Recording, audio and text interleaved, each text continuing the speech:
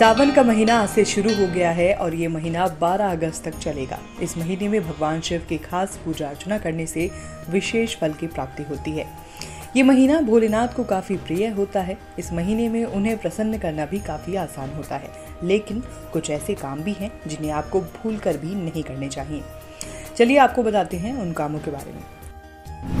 Number one, तामसिक भोजन का सेवन ना करें। सावन के महीने में प्याज, लहसुन और मांस का सेवन नहीं करना चाहिए। इसके अलावा सावन के महीने में बैंगन का सेवन करना भी वर्जित माना जाता है।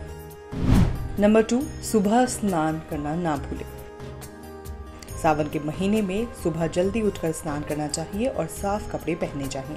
सावन भर भोलेनाथ को जल और बेलपत्र चढ़ाएँ तो और उत्तम रहेगा। नंबर थ्री, विलासिता से दूर रहें। सावन महीना तप और साधना का महीना है, इसलिए सावन में विलासिता वाली चीज़ों से दूर रहना चाहिए। ऐसी मान्यता है कि सावन में गद्दे पर भी नहीं सोना चाहिए। इस दौरान ज़मीन पर सोएँ। नंबर फोर, दाढ़ी बाल ना कटवाएँ।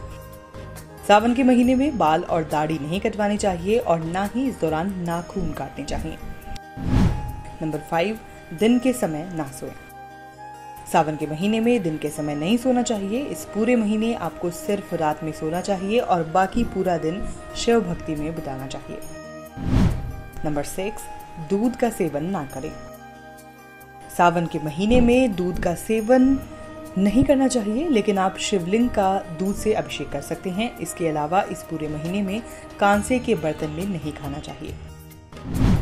नंबर सेवन, नकारात्मक विचारों से दूर रहें। सावन के महीने में ऐसे विचारों से दूर रहना चाहिए, किसी के बारे में कुछ गलत नहीं सोचना चाहिए, किसी को कुछ बुरा नहीं कहना चाहिए। अगर आप शिव जी का आशीर्वाद पाना चाहते हैं तो इस महीने में अपने माता पिता और गुरुओं का सम्मान ज़रूर करें।